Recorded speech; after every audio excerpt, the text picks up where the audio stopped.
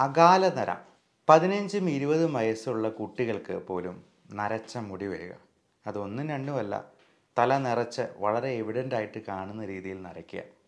എന്തൊരു ബുദ്ധിമുട്ടുണ്ടാകുന്ന ഒരു സംഭവമാണല്ലേ? ഈ അകാല നരയെ ഒന്ന് തരണം ചെയ്യാൻ വീട്ടിൽ തന്നെ ചെയ്യാവുന്ന ഒരു ഹോം റെമഡിയാണ് ഇന്ന് പരിചയപ്പെടുന്നത്.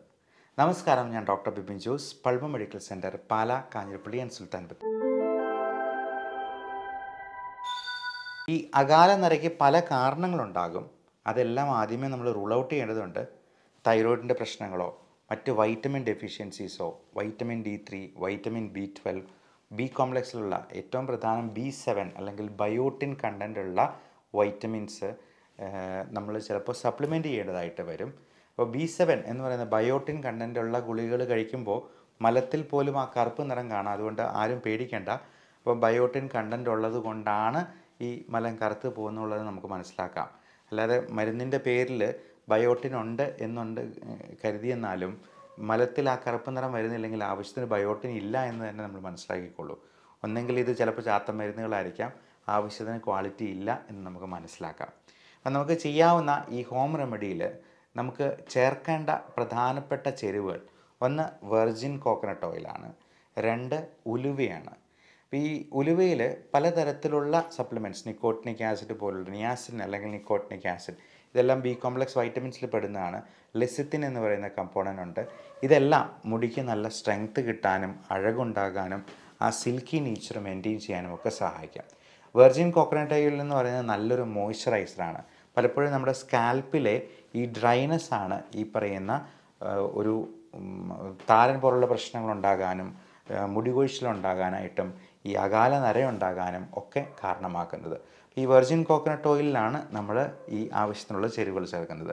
അതിൽ ആദ്യമേ ഉലുവയാണ് അത് നന്നായിട്ട് പൊടിച്ചതിന് ശേഷം വെർജിൻ കോക്കനട്ടിലൊരു ഒരു ചെരുവത്തിലെടുക്കുക അതിലേക്ക് ആഡ് ചെയ്തിട്ട് അത് ചൂടാക്കി നല്ലപോലെ ഇളക്കുക. രണ്ടാമത്തെ പ്രധാനപ്പെട്ട ചേരുവ കരിഞ്ചീരകമാണ്. കരിഞ്ചീരകത്തിന്റെ പൊടി.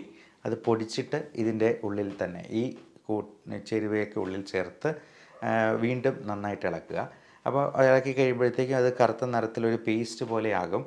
അതിനുശേഷം നമ്മൾ അടുത്ത ആഡ് ചെയ്യേണ്ട സംഗതി മൈലാഞ്ചി പൊടിയാണ്. അത് മൈലാഞ്ചിയുടെ ഇല കൊണ്ട് തന്നെ നമുക്ക് വേണമെങ്കിൽ പൊടിച്ചുണ്ടാക്കാം. അല്ല എന്നുണ്ടെങ്കിൽ മൈലാഞ്ചി പൊടിയായിട്ട് മെഹന്തി പൊടിയായിട്ട് നമുക്ക് വേണമെങ്കിൽ വിപണിയിൽ നിന്ന് വാങ്ങിക്കാവുന്നതാണ്. ഇതെല്ലാം ഒന്നോ രണ്ടോ ടീസ്പൂൺ നമുക്ക് ആവശ്യത്തിനുള്ള ഇപ്പം ടീസ്പൂണിന്റെ വലിപ്പം പറയുമ്പോഴത്തേക്കും നമ്മൾ ആ കൂടുതലായിട്ട് വേണമെന്നുണ്ടെങ്കിൽ വെർജിൻ കോക്കനട്ട് ഓയിലും അതിനനുസരിച്ച് തന്നെ എടുക്കുക. ഒന്നോ രണ്ടോ ടീസ്പൂൺ വീതം ഈ ചേരുവകളും കൂടി ചേർക്കുക. എന്നിട്ട് നന്നായി ഇളക്കി അതൊരു പേസ്റ്റ് പരുവത്തിലാകും. അപ്പം അത് അതിന് ശേഷം ഒരു ആ ചട്ടി ഒന്ന് മൂടി വയ്ക്കണം ഒരു രാത്രി മുഴുവൻ അങ്ങനെ മൂടി വയ്ക്കണം അപ്പോൾ അങ്ങനെ ഒരു രാത്രി കഴിഞ്ഞിട്ട് പിറ്റേ ദിവസം രാവിലെ നമുക്ക് ഇതെടുത്തിട്ട് നല്ലപോലെ അരിച്ച് ഒരു കിഴി കെട്ടി നല്ലപോലെ പിഴിഞ്ഞങ്ങ് എടുക്കുക. ഒരു കുപ്പിയിൽ ശേഖരിക്കുക. എല്ലാ ദിവസവും കുളിക്കുന്നതിന് ഒരു അരമണിക്കൂർ മുമ്പ് തന്നെ നമ്മൾ മുടിയിൽ ഇത് പുരട്ടി വയ്ക്കുക എന്നിട്ട് അരമണിക്കൂർ കഴിയുമ്പോൾ നമുക്ക് കുളിക്കാവുന്നതാണ്. ഒരു പതിനഞ്ച് ദിവസത്തേക്ക് ഇത് ചെയ്ത് നോക്കുക. അപ്പോൾ ഒരു പതിനഞ്ച് ദിവസത്തിന് ശേഷം എങ്ങനെയുണ്ട് റിസൾട്ട് എന്നുള്ളത് നിങ്ങൾ ഈ വീഡിയോയുടെ അടിയിൽ തന്നെ കമന്റായിട്ട് രേഖപ്പെടുത്തുക. ഇനി ഇതുകൊണ്ടൊന്നും അത് ശരിയായില്ല എന്നുണ്ടെങ്കിൽ നിങ്ങൾ ഡോക്ടറെ സമീപിക്കാനായിട്ട് മടി കാണിക്കരുത്.